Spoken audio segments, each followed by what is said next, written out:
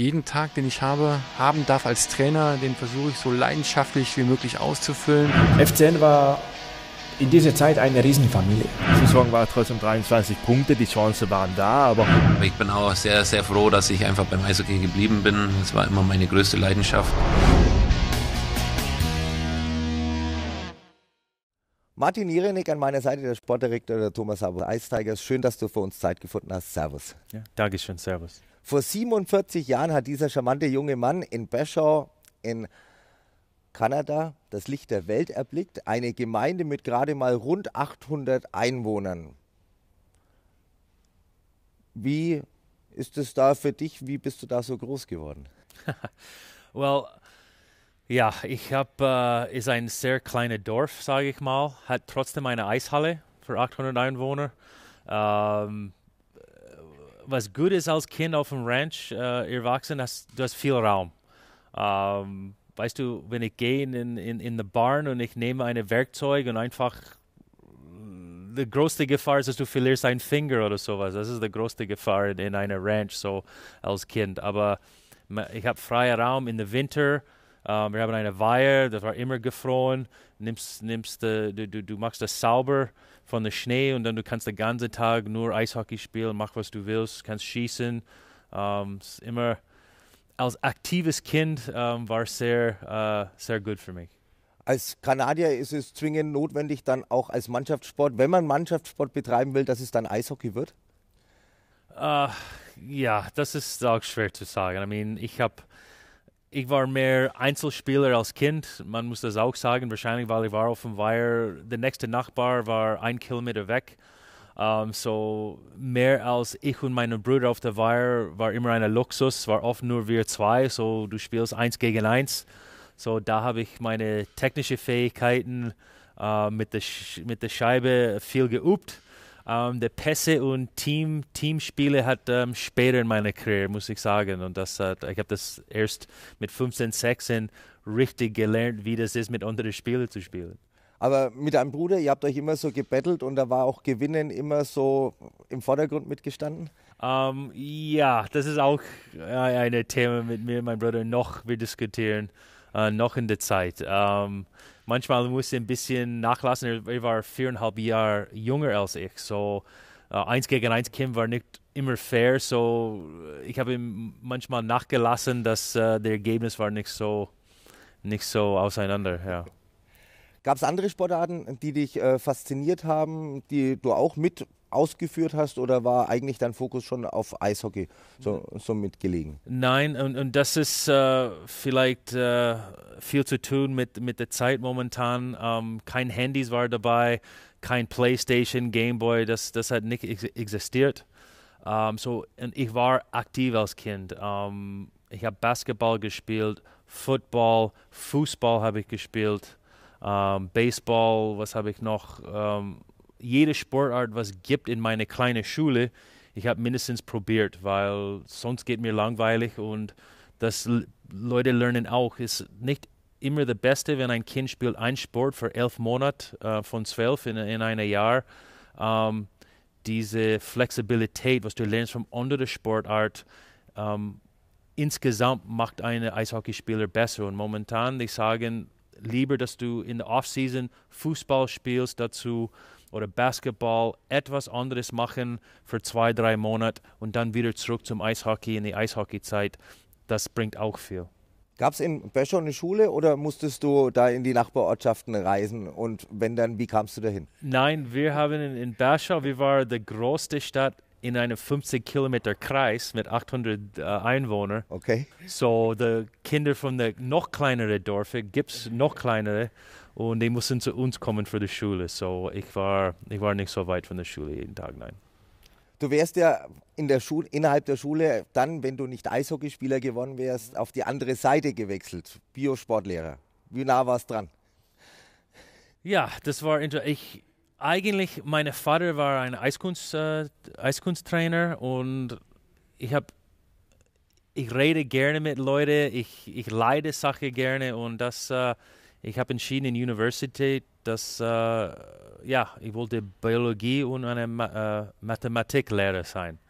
Ähm, Eishockey hat äh, ähm, war immer meine erste Wahl und Gott sei Dank, ich habe das äh, als beruflich, ähm, erst als Spieler und jetzt äh, als, als sportlicher Leiter. Ähm, das erfüllt diesen Wunsch und ich bin sehr glücklich mit das und ich habe auch viel Glück, dass, äh, dass ich habe das geschafft. Ähm, es ist keine einfache Beruf. Als Kind, wir alle planen, ich will Profisportler. Ähm, Realität äh, ist, ist ein bisschen anderes, ja. In Deutschland ist es klar, wenn man im Sport irgendwas erreichen will, geht es über den Verein. In Nordamerika ist es da ein bisschen anders strukturiert. Wie äh, werden da Talente entdeckt? Läuft da alles über das Schulsystem ab? Nein, nicht in Kanada. In Kanada ist auch Vereine, aber ist nicht äh, wie hier in Nürnberg oder in Deutschland. Du hast die Ice Tigers und dann du hast einen Verein, gehört zu den Ice Tigers Nachwuchs oder in Kooperation mit den Ice Tigers. Ähm, in Calgary die Calgary Flames hat keine Nachwuchsgruppe. Ähm, jeder Teil in der Stadt hat ihren Nachwuchsverein. Und in, in Calgary war in meiner Zeit vier große Vereine. Und die sind von den Bambinis bis die Ju, äh, Junioren ähm, war ein Verein. Und das ist dann unterstützt durch die Beiträge. Und äh, erst dann nach der Junioren, dann fängt dann eine Profiliga, aber so eine klassische, wie, oder wie in Deutschland, dass du hast eine Profimannschaft und die leiten den Nachwuchs, ähm, das ist äh, nicht so in, äh, in Kanada. Wie hat sich bei dir das Teamspielen, das Mannschaftsspielen entwickelt? Ähm, bis ich habe kein 100 Tore pro Saison geschossen mehr. Das äh, mit, mit 8, 9 und 10 ähm, ich habe Phase, und ich muss auch sagen, ich war nicht in der höchsten Liga. Ähm, damals mit 8, 800 Einwohnern, ich war so, man kann sagen, Landesliga, Bayern League. Und da habe ich viele Tore geschossen. Und, aber dann später, wenn ich 15, 16 war, ähm, ich habe umgezogen nach Calgary. Ich habe mit meinen Großeltern da gewohnt. Und dann, das Spiel war einfach besser und, und Alleingange funktioniert nicht mehr. Und ich habe einfach gelernt, weil wenn du die Scheibe fünf, sechs Mal in Folge verlierst, irgendwann der Trainer sagt, weißt du was, du machst jetzt Pässe, sonst du spielst nicht mehr. Und da habe ich durch das ähm, die andere Fähigkeiten entwickelt. Wie zufrieden waren deine Eltern mit dir als Schüler? Uh, okay. Um, ähm, ich war immer, ich sage mal, ich war keiner, wer hat immer eins und zwei, aber Dreier habe ich ziemlich reg regelmäßig gemacht. Ich habe keine Fünfer in meiner ganzen Schulkarriere gemacht. Ähm, so in der Schule war wichtig auch für meine Eltern. Äh, zufrieden, die sind nie zufrieden, aber war immer im grünen Bereich, muss ich sagen. Als du dann gesagt hast, ich möchte Eishockey-Profi werden, haben sie sofort gesagt, ole ole? Ja, I mean, zurück, I mean, mein erster Traum war um, College in den USA. Und da wegen der Schule muss auch stimmen. Und mein erster Schritt so nach Nachwuchs-Eishockey, der erste Ziel war ähm, ein Stipendium in, in, in the US College System zu bekommen. Und das habe ich geschafft. Und dann nach der College, in der College-Zeiten, dann, ich fängt an zum wirklich Realität träumen über vielleicht einen Profivertrag. Wenn man in der ersten Runde an 13. Stelle gedraftet wird, kann man eigentlich davon ausgehen, die Tür zur NHL ist sperrangelweit offen. Jein. Um, ähm, ich muss zugeben, um, ähm, die Statistik, die machen das nicht mehr. Ich war der erste Runde in, das damals war das Supplementary Draft. So, ich war keine erste Runde Draft-Pick. Uh, ich war gedraftet als 19 Jahre alt. damals, die haben einen normalen Draft wie jetzt. Aber wenn du nicht genommen hast, wenn du 18 Jahre bist und du gehst dann zum College, die, die haben auch, heißt damals das Supplementary Draft und das war für die Kinder oft in Europa oder in US College, wo vielleicht, sage mal, durchgerutscht in der ersten Draft und in der nächsten Jahr vielleicht du hast anders entwickelt oder du hast etwas gezeigt und die haben diese Supplementary Draft gemacht und da war ich war in der ersten Runde gedraftet, aber ich war keine erste Round Draft Pick. Nein. Und dann HL gespielt, wahrscheinlich immer mit dem Blick nach oben, aber dann überraschenderweise den Sprung über den Teich nach Österreich. Ja, ähm, ich habe nicht viel Geduld, äh, wenn ich junge war. Ich habe zwei Jahre gewartet. Ähm, habe ich auch ich wollte immer, weil meine Eltern kommt aus Tschechien, ich habe immer geträumt, in Europa zu spielen. Und äh, es ist schwer zu sagen, genau warum. Ich habe ich hab das zwei Jahre versucht, der AHL, viel im Bus. Ähm, ich wollte einfach das versuchen in, in, in Europa äh, zu spielen. Und ich habe eine gute Möglichkeit in, in Österreich und ich habe einfach den Sprung gemacht. Wie viel Kanada hast du zu Beginn in Österreich vermisst? Der erste paar Jahre schon. Um, das, das, I mean, war Spaß. Ich habe Eishockey war, war immer vor, aber nach der Saison, das freut mich immer zurück nach Kanada, meine Eltern wieder zu sehen. Um, aber Jahr zu Jahr, ich war einfach mehr und mehr bequem, das ganze Jahr in Europa zu bleiben. Und äh, weißt du, jetzt, äh, ich bin mit einer Deutschen verheiratet, deutsche Kinder und ich bin jetzt äh, ja, voll, voller deutsche Einbe Ein Eingebirge und äh, ja, das, das ist jetzt meine, meine Heimat. Wenn man aus Berschau kommt, äh, wie viel Käse muss man dann essen können? ja, das ist die große Fabrik in Berschau, war eine Käsefabrik, Armstrong Cheese.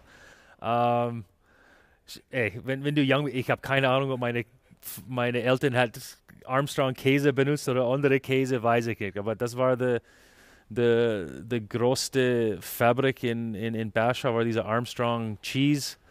Und äh, ja, viele Leute von Westen, wenn, wenn die etwas von Berschau gehört, the, meistens der erste Satz ist, äh, ja, Käse, Käsefabrik.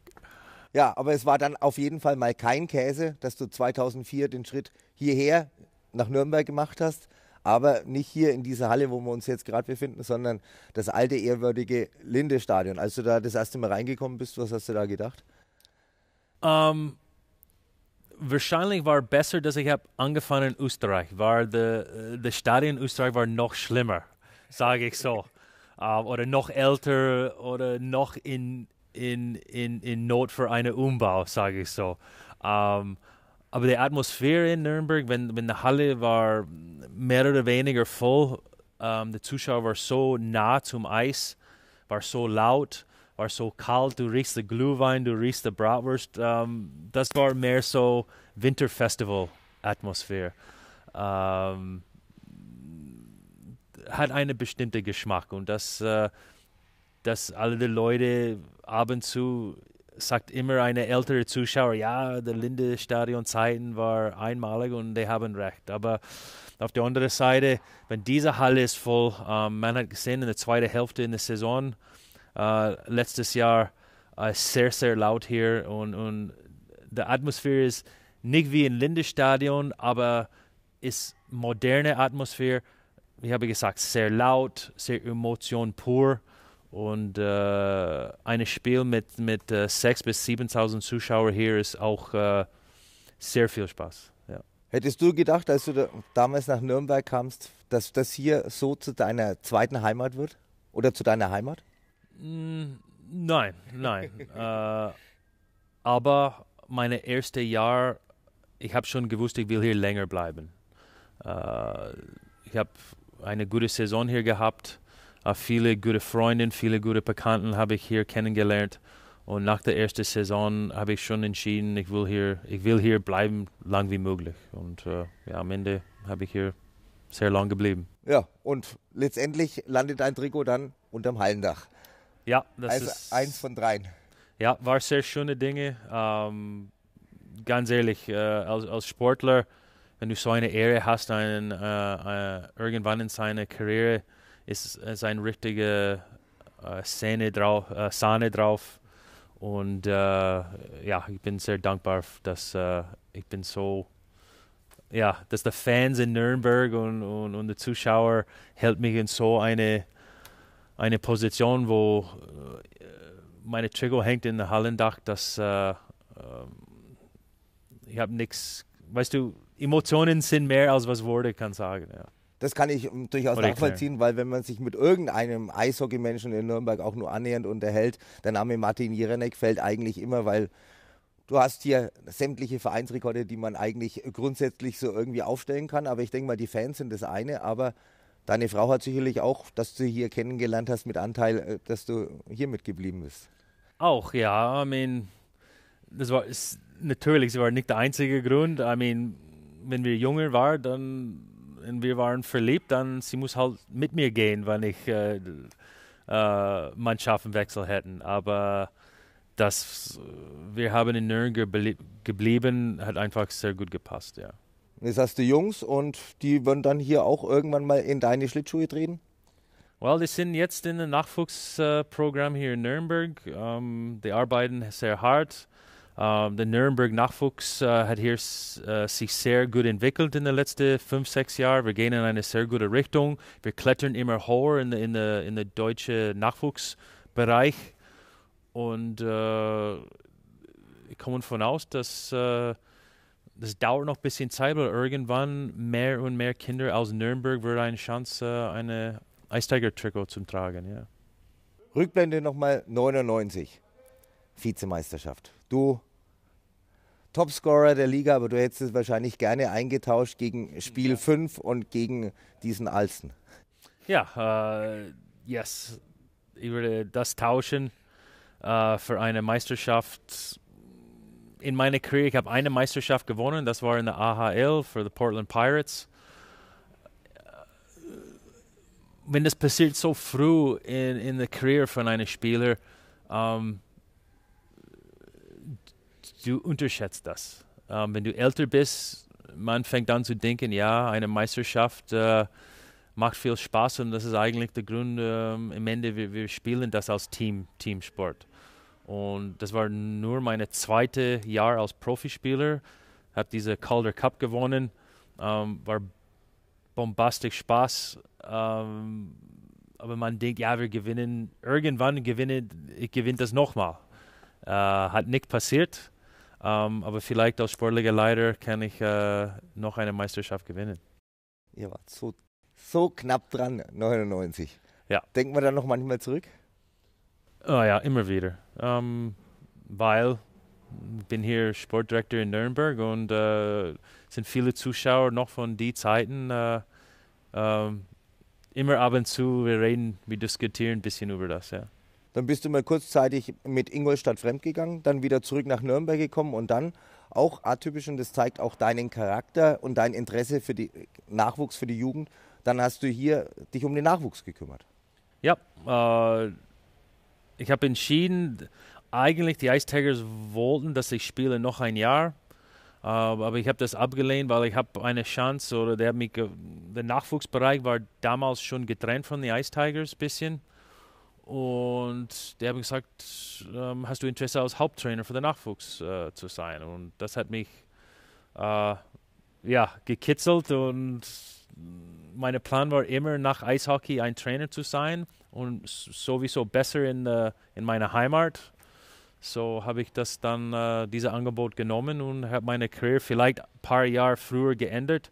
Aber im Endeffekt, wenn man sieht, äh, wo ich habe gelandet und meine Erfahrung ich habe gemacht als Trainer, ähm, das war die richtige Entscheidung für mich.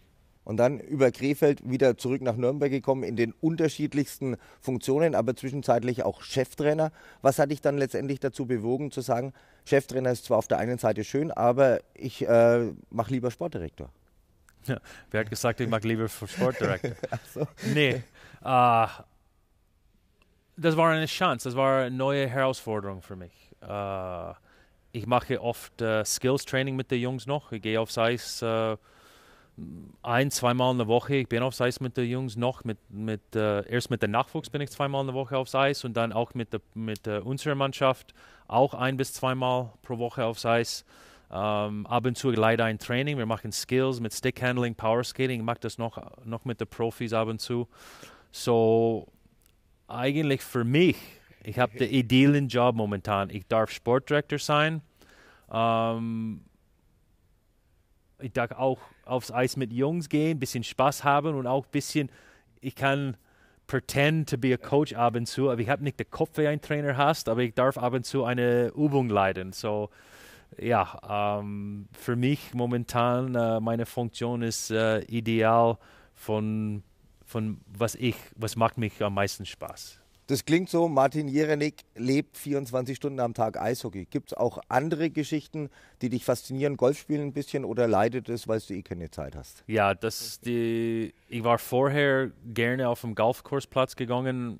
Jetzt Zeit habe ich keine Zeit, weil jetzt meine zwei Jungs, eine ist 15 jetzt, die andere ist 13. Ähm, zwischen Eishockey und Zeit mit meinen Jungs und meiner Frau gibt es kaum on, äh, mehr Zeit für etwas anderes zu machen. Gibt es für dich in Nürnberg einen Lieblingsplatz? Äh, also neben der Arena hier oder deinem Schreibtisch? Nee, nee, das Restaurant Covadis. Äh, das ist unser Lieblings. So ab und zu Mittagessen gehen wir oft, Spieltage gehen wir da. Ähm, die sind nett, sehr nett zu uns, äh, diese, diese Restaurant. Wir haben eine Verbindung mit den Ice Tigers. So, wenn ich bin unterwegs in der Stadt und ich will etwas essen, da ist meine eine, eine Restaurant, wo ich äh, sehr gerne gehe. Hat Musik in deinem Leben eine Rolle gespielt? Als Spieler. Ähm, du benutzt Musik als Konzentration oder vorm Spiel, wieder in Fokus bringen. Ähm, ich glaube, äh, Musik hilft für mich auf der mentalen Seite. Manchmal abends, wenn ich will ein bisschen ausruhen, Kopfhörer an, Augen zu und ein bisschen Musik hören, ob das, ganz ehrlich, ob das Klassik ist oder Techno oder ähm, ich bin oft in meinem Karriere gefragt, was ist meine Lieblings so Art von Musik und wenn ich sage, ich mag viele verschiedene, das ist die Wahrheit. Ähm, das ist abhängig. Ich finde Techno sehr, sehr ähm, fokussiert äh, das hilft mich auch manchmal einfach ausruhen. Irgendwie diese Bum, Bum, Bum, Bum macht so ein bisschen Hypno Hypnotismus. Ähm, manchmal mag ich Classical, manchmal mag ich Rock. Ähm, wenn ich will ein bisschen Fire oder, oder Emotionen, dann eine richtig gute Rockmusik äh, hilft auch. So Musik für mich ist einfach äh, ja eine, eine Werkzeug für meine ähm, Mentalstatus. Eishockeyspieler haben ja immer den Ruf, gerne mal am Abend auch mal um die Häuser zu ziehen, wenn sie frei haben, was ihr ja selten letztendlich habt. Das klingt danach, als wärst du immer noch in der Lage, mit deinen Jungs mitzuhalten. Yes, yes. Uh, aber man muss immer uh, nicht vergessen, ich bin der sportliche Leiter. Um, so, wenn ich rede mit Spielern von, von unserem Club, um, man braucht eine bestimmte Distanz. Uh, weil ich habe einmal zu einem Spieler vor ein paar Jahren gesagt, fast mit jedem Spieler kommt immer zwischen uns ein bisschen Streit, weil irgendwann ein Spieler fängt an alt zu sein oder weißt du, ich muss immer Verhandlungen mit Gehalt und, und ob die überhaupt wieder zurück nach Nürnberg kommen. Im Endeffekt, diese Entscheidung landet auf meinem Tisch und äh, jeder Spieler will, will, spielen noch eine Saison und manchmal muss eine harte Entscheidung gemacht, egal wie gute Verhältnisse ich habe mit einem Spieler. Manchmal muss halt schlechte Nachricht geben. Um, ähm, so wegen das um, ähm, meine Beziehung zu diesem Spiel muss immer klar und öffentlich und mit einer bestimmten um, ähm, ja, Distanz. Das ist, das ist halt die Wahrheit von meiner Position. Also dann schaust du eher zu, wie die Spieler feiern und bewertest danach, ob es dir gepasst hat oder nicht. Ich bedanke mich auf jeden Fall für ein ganz, ganz offenes und herzliches Gespräch. Danke dir, Martin Jerenek. Ja, Dankeschön.